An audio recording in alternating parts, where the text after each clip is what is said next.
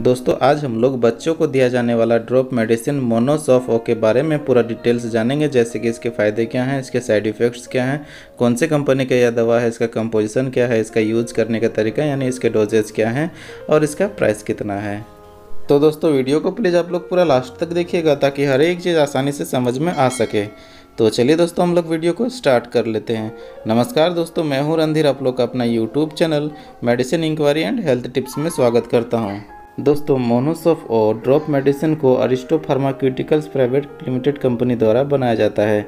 अगर इसके कंपोजिशन की बात करें तो इसमें सेफ़ फोडोकसाइम प्रोक्सेटिल होता है।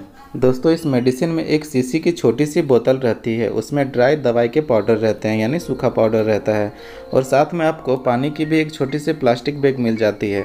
आपको उस पानी को ड्राई पाउडर में डालकर अच्छे से सेक करना है, यानी अच्छे से हिलाकर मिला लेना है। उसके बाद ड्रॉपर की सहायता से बच्चे को डॉक्टर द्वारा बताया गया हुआ डोज पिलाना है।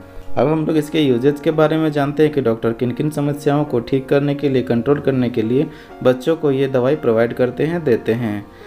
तो दोस्तों, ये बच्चे को दिया जाने वाला एक एंटीबायोटिक दवा है। अगर बच्चे को लंग्स में इन्फेक्शन हो गया है, निमोनिया हो गया है, कान में दर्द है, हाथ पैरों में सूजन है, गले में इन्फेक्शन है, यानी गले से घर घर की आवाज़ आती है, नॉर्मल बुखार है या फिर टाइफाइड की बुखार है, सर्दी खांसी हो गया है या अन्य किसी प्रकार के इन्फेक्शन को ठीक करने के लिए किसी दूसरे दवाई के साथ इस एंटीबायोटिक दवा को दिया जाता है। जैसे अगर किसी बच्चे को बुखार है तो उसे पैरासीटामोल के साथ डॉक्टर इस दवाई को देते हैं। और दोस्तों, ये बच्चों के टाइफाइड बुखार को ठीक करने के लिए बेस्ट एंटीबायोटिक मेडिसिन है। इतने सारे इसके यूजेज हो गए दोस्तों, और अगर हम लोग इसके साइड इफ़ेक्ट की बात करें तो इसके साइड इफ़ेक्ट रेयर हैं, जल्दी होते नहीं हैं। होने से अपने डॉक्टर से ज़रूर कंसल्ट करिएगा। इसके कुछ साइड इफ़ेक्ट हैं, उल्टी नोज़िया और दस्त। और अब हम लोग इसके यूज़ करने के तरीके यानी इसके डोजेस के बारे में बात करेंगे।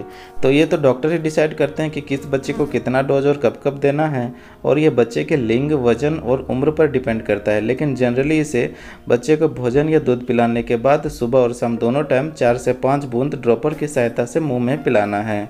और इस मेडिसिन को कंटिन्यू यानी डेली पिलाना है।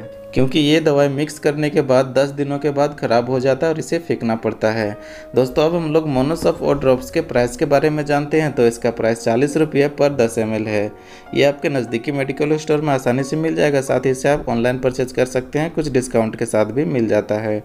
दोस्तों, मैं उम्मीद करता हूँ कि आप लोग को मोनोसॉफ और ड्रॉप्स के बारे में हर एक चीज़ आसानी से समझ में आ गई होगी। फिर भी अगर आप लोग के मन में किसी तरह का सवाल या सुझाव है तो प्लीज़ कमेंट सेक्शन में ज़रूर पूछें। हम उसका टाइम टू टाइम ज़रूर रिप्लाई करेंगे। अगर ये वीडियो आप लोग को अच्छा लगा है तो प्लीज़ मेरे वीडियो को एक लाइक कर दें। साथ ही इस वीडियो को शेयर करें, दूसरे तक पहुँचाएँ ताकि ये जानकारी उनको भी मिल सके। और मेरे channel medicine inquiry and health tips को सब्सक्राइब कर दें और बेल आइकन को दबाएँ ताकि आने वाले वीडियो का नोटिफिकेशन सबसे पहले आप तक पहुँच सके। तब तक दोस्तों आप लोग स्वस्थ रहे, मस्त रहे, फिर मिलते हैं एक नए वीडियो के साथ। धन्यवाद।